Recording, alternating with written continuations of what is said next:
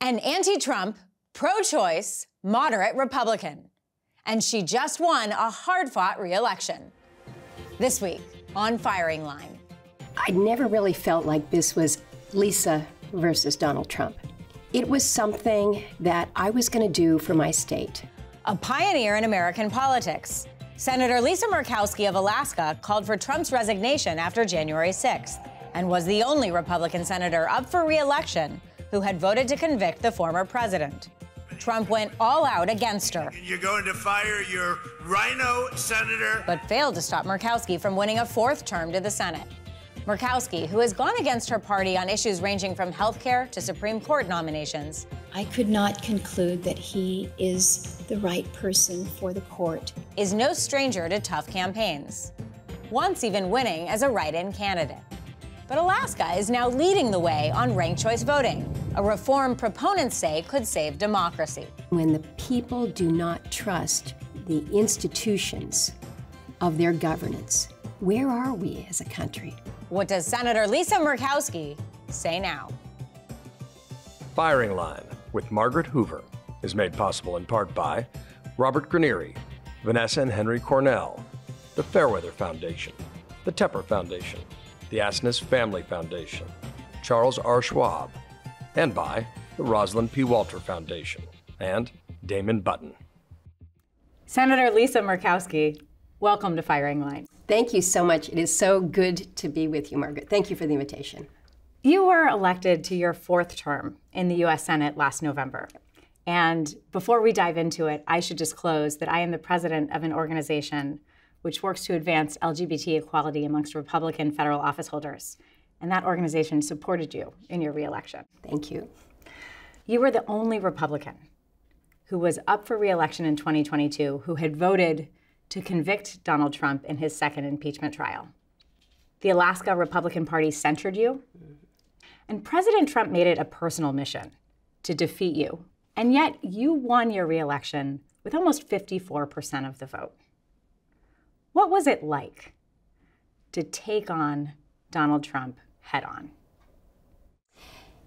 You know, in reflection, I never really felt like this was Lisa versus Donald Trump.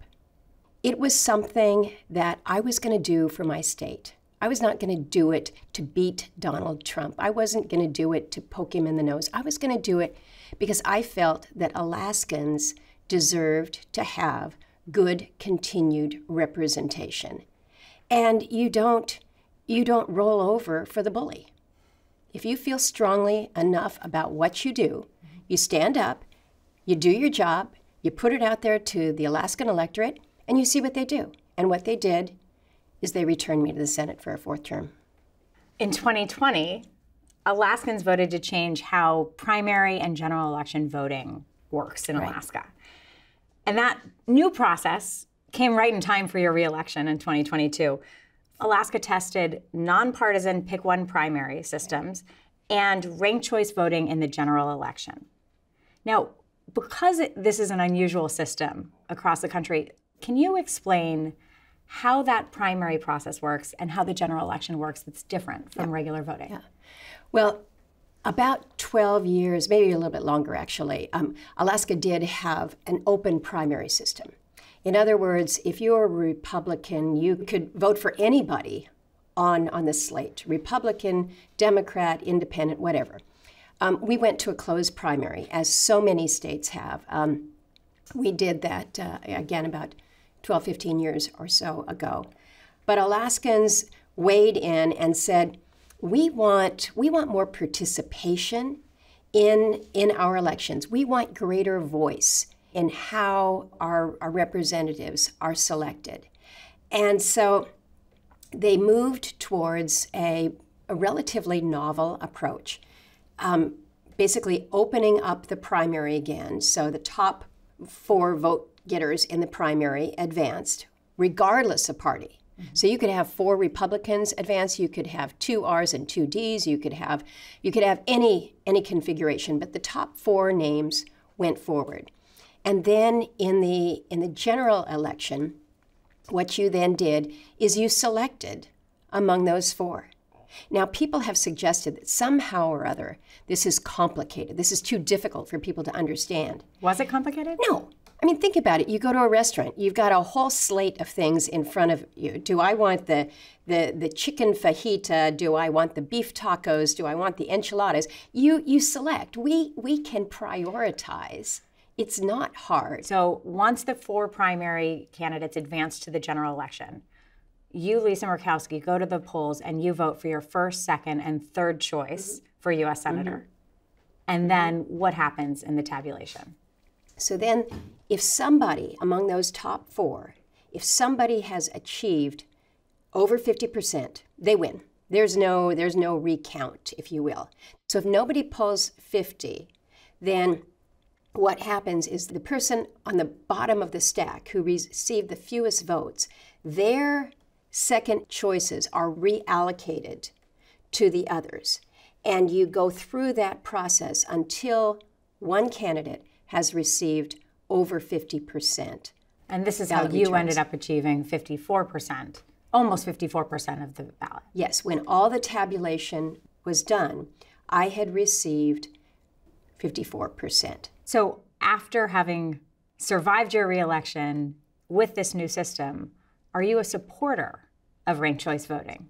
I am. And it's interesting, if you look at the numbers, I won the general without the help of ranked choice. So I think that that's important to just state. But as, as a candidate, as one who went through this, I think it's good. Let me put it a little bit more in context. About 26% of Alaskan electorate identify as Republicans, about 17% Democrats. That means you've got over 60% of the population that chooses not to affiliate with either of the two major parties. Where do they go? Where's their political home? In a primary, they don't feel like there's any real incentive to participate in that. And then they get into the general, and what they've been given are two individuals on the extremes of both sides. And they look at that and say, How do I have a voice in this? So, ranked choice gives them that voice. Ranked choice gives them the voice in the general. But it sounds like also because of the open primary process that takes the top four and advances them, that's really where unaffiliated voters get to weigh in. It, it is. I think we have become far too partisan in this country. And I think we see that in Washington, D.C. We see individuals that, that their heart, their mind knows where they should be on a particular vote, but they know that they're going to get creamed by their party if they, if they vote the wrong way. They know they will be primaried by somebody who is more conservative or perhaps more liberal. And so the parties have, have really come to um, exert levels of influence, in my view, that um, we, need, we need to look at this. We need to figure out all right, is this, is this really where the American electorate is, giving all the strength to, to party leadership? And is it, it sounds like what you're saying is it's closed partisan primaries that are controlling the quality of candidates at the state level. I think we see that, yeah. If Alaska had continued to have a closed partisan primary, mm-hmm. would you have won your primary? If the primary had been closed, as we have seen in, in the past dozen years, I think it's a fair statement that I would have had a very, very difficult time in in moving past that primary. Yeah, and this happened to you actually. Yeah, it did once in before in 2010. I, am evidence in a closed partisan primary in mm-hmm. the Tea Party wave. Um, mm-hmm. You ended up having to win by running as an independent, a yep. write-in candidate, where it the majority crazy of Alaskans. Because nowhere on that ballot was was my name present. There was a little circle and a line. And we needed to educate voters that you needed to write in my name you needed to spell it correctly, and you needed to fill in the little oval next to it because if you spelled it correctly but you didn't fill in the oval, the computer wouldn't catch it and count it. So we handed out rubber wristbands that said, fill it in, write it in. And there was a little bubble and the name. So I, I, I've worn this bracelet since 2010. My husband turned the, the rubber wristband into gold. But it's fill it in, write it in, Lisa Murkowski, and it's a reminder. It's a reminder to me every day. that I was returned to this position in the Senate because of Alaskan voters who said, we're going to reject the extremes and we're going to put our confidence in you. You have said Alaska's different. Mm-hmm. But is there something about these voter reforms that actually could have applicability beyond Alaska? Yes. I said during our election last year, we want to make sure that that how Alaska proceeds with ranked choice is demonstrated as a good model, one that other states will look at and say, we like the voice that ranked choice gave. We like the fact that candidates were actually perhaps a little bit more civil to their opponents when I knew that I needed to get Margaret's second place vote. So I'm not going to trash talk her in our debates or in my public encounters because I want to pick up some of that support too. So we saw a level of, of civility um, in, in many cases, in some cases, not so much. But, um, but I think what we demonstrated in Alaska was the possibility that electoral reform can happen and it can deliver outcomes that are less partisan and perhaps less um, politically rancorous. When you look at the 10 House Republicans who voted to impeach Donald Trump, only two were returned by voters to the House of Representatives, and both of them were from states that had implemented some kind of voter reform. What does that tell you? It, it tells me that the voters in states where uh, the voter really is encouraged to look at the individual, they want that individual to stand up for them, to stand up for what is right, instead of to stand up for the party position. That's what that tells me. Um, you've said that we shouldn't assume that Trump will be the 2024 Republican presidential nominee. But right now, the polling, as you know, is telling a different story. Uh, about half of Republican primary voters support President Trump for the nomination. Do you think there is a possibility that he will not be the GOP nominee? Yes. How? Um, this is this is July. We have over a year. Um, we're just about a year until until the conventions. Lots can happen. Yeah. You have an individual that's running for the presidency with two indictments against him, uh, with the potential for perhaps a third. Um, an individual who, in my view, defied and undermined his oath of office, which is to first and foremost protect and defend uh, the people of this country. In my view, uh, this former president incited an insurrection on the Capitol. To me, it should be it should be done. It should be over. Um, but apparently, for for many Republicans in this country, um, they have have chosen to look beyond that. And in some cases, the indictment seemed to have strengthened the former president's position within the Republican primary contest. That's what it would appear. And I don't understand why, with the, uh, with the strong candidates that we have right now, Tim Scott, what an honorable man.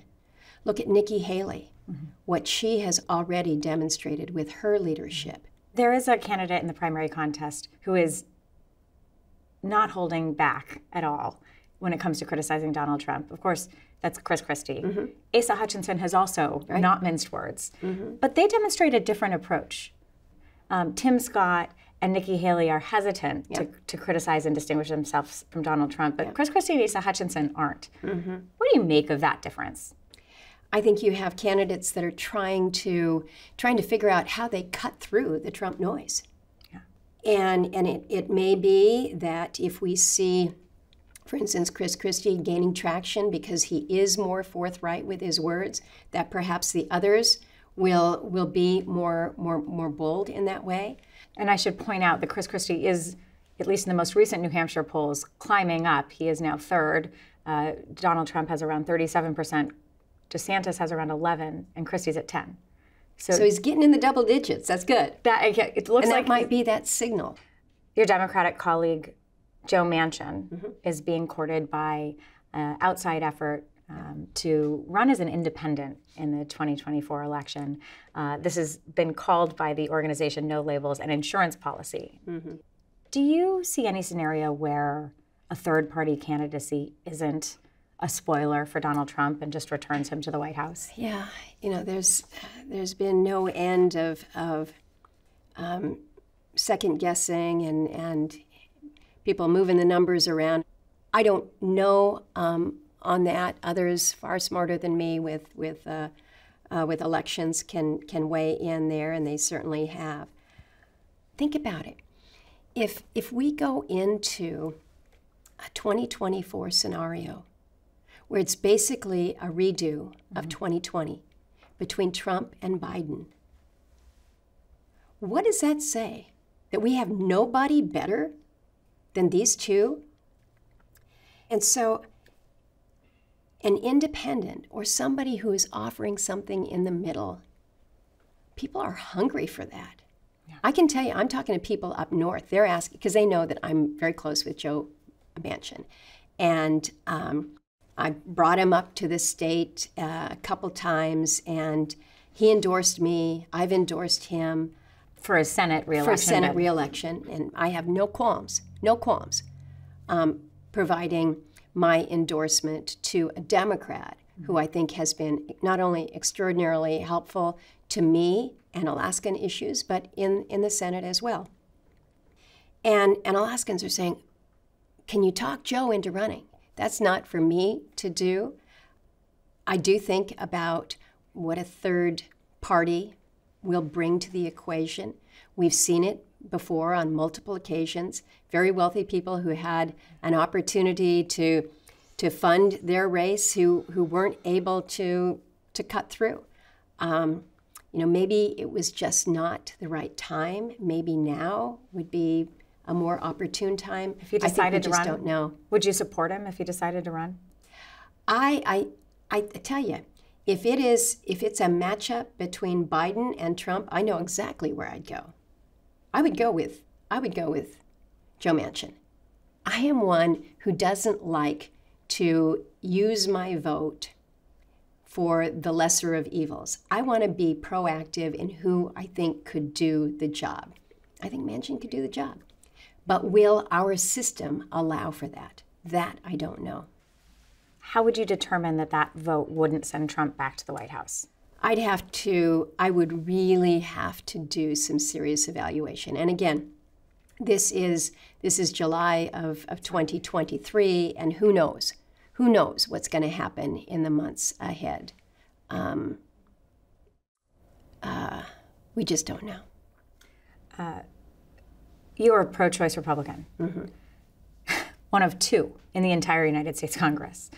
And when Roe v. Wade was overturned, you had been assured through your private conversations with the justices that this was settled law, and you had expressed mm-hmm. real disappointment. Super precedent. Super a precedent. super precedent. Mm-hmm. You expressed your disappointment yeah. um, at the court's decision, and also at the level of confidence that Americans have in the court, um, which has been shaken. This session, the court also made several high profile decisions um, including one that dismantled affirmative action. What is your reaction to the recent affirmative action decision? I think I saw it coming. Um, I think many saw it coming. Um, in contrast to Roe? In contrast to Roe, yes. And so I was not as surprised about uh, the decision on affirmative action as I was with with the Dobbs decision. What are the consequences of the decline in public confidence in the Supreme Court? Oh, it's huge. It's huge.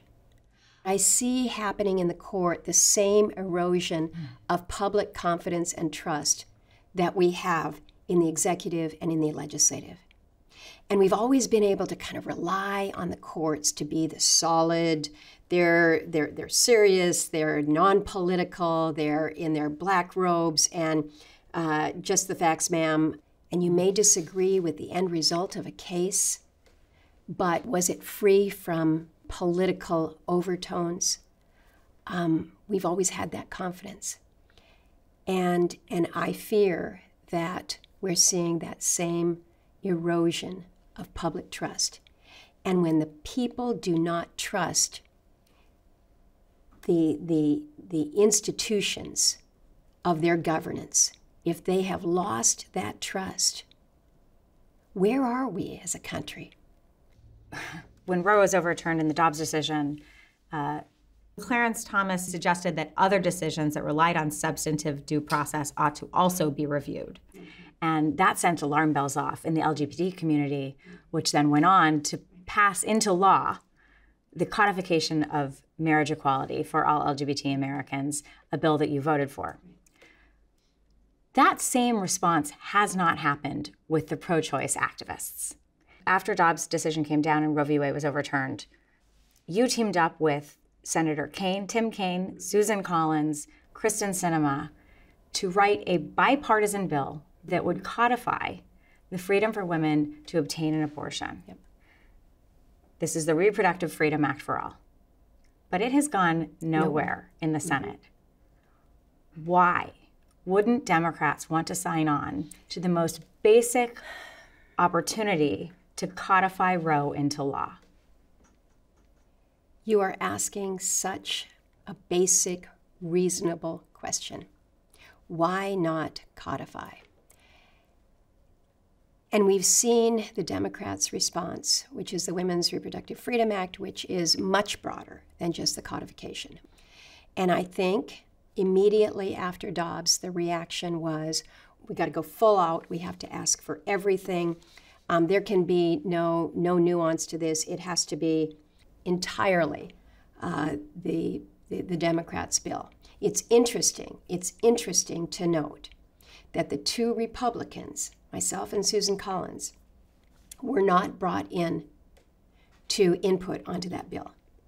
I think the approach that was taken was we're going we're going to just move out with our bill and we're going to use it to demonstrate that Republicans don't care about a woman's right to choose, that Republicans are not interested. Is it possible to gain some, some support for our bill? I think if Democrats realize that they're not going to, to be able to advance theirs, mm-hmm. then it, it, it allows for, for, the, for the thought that maybe we can move this bipartisan bill. But before we can do that, we need to find we need to find six, eight more Republicans who are willing to do that. And if you look at, at the current makeup in the Senate, we're hard pressed to find those individuals that would recognize that what we had pre Dobbs mm-hmm. around this country was working in so many states. The Equal Rights Amendment. Yeah. Yeah, also yeah. known as the ERA. Another good one. Uh, was, was first introduced in 1923. Mm-hmm. You have supported efforts for its ratification. Yep. Uh, on the original firing line with William F. Buckley Jr., he hosted a debate about the ERA that included Phyllis Schlafly, wow who, of course, led the crusade against yeah. the ERA, yeah. and ERA supporter Ann Scott. Take a look at this clip. The whole thing is misrepresented as a woman's rights amendment. In fact, the principal beneficiary will be men. It will give men a great opportunity to get out from under their obligations, their obligations to be drafted and to support their family, et cetera, et cetera. It will entitle, you, it will entitle men and women both to have equal rights of citizenship. And I don't favor I don't believe in favoring one sex over the other. I think that people should be treated as human beings first. How would finally ratifying the ERA help women in the United States? Well, we like to think of ourselves as a place where women are treated equally. Mm-hmm. But look at Congress. Between the House and the Senate, women make up about 25 percent. I don't know, but it seems to me that women make up half the population. So uh, the fact that we've got a quarter, only a quarter represented in in uh, our our governance system doesn't seem to make sense. Look at look at uh, the financial sector. Look at all aspects of business where we are not yet equal in in most areas. Uh, we're still dealing with pay discrepancy, depending on what part of the country you're from. But I think on average, it's still about 79 cents that a woman earns for a man's dollar.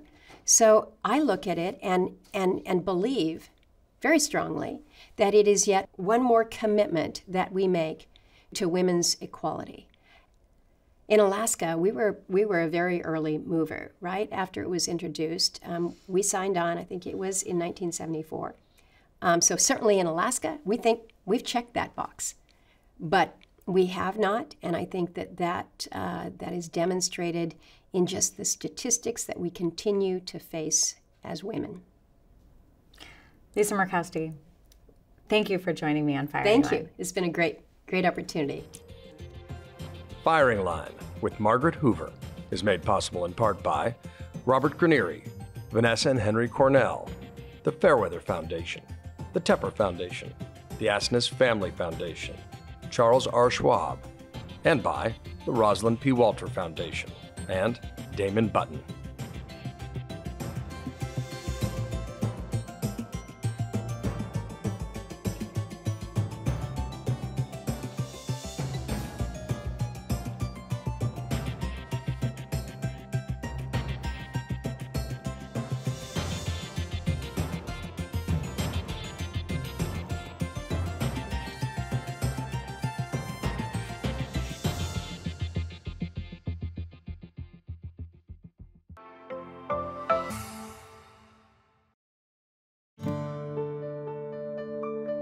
You're watching PBS.